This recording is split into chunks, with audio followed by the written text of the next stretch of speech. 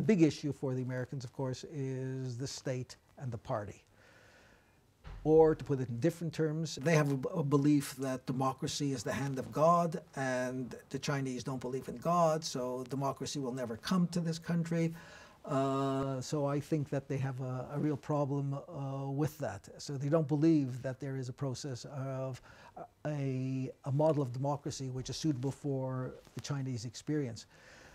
And let me just tell you that when I look at the character of American democracy today, I don't think it's democratic at all. I think it's it's a society gone quite bizarre, where money dominates and people win elections simply by the expenditure of money. But that's a totally different issue. Every country has to define its own democratic process, and I I have a confidence that in China it, uh, that process is taking place.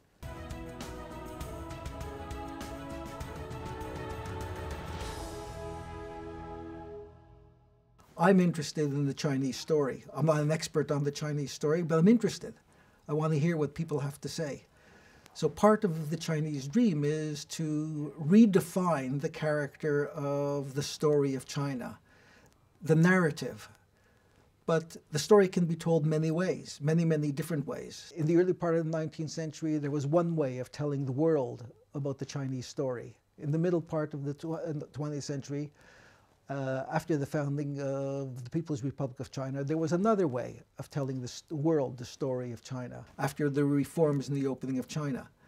It seems to me that the uh, this year, uh, 2013, is the attempt to redefine the story of China in a unique kind of way.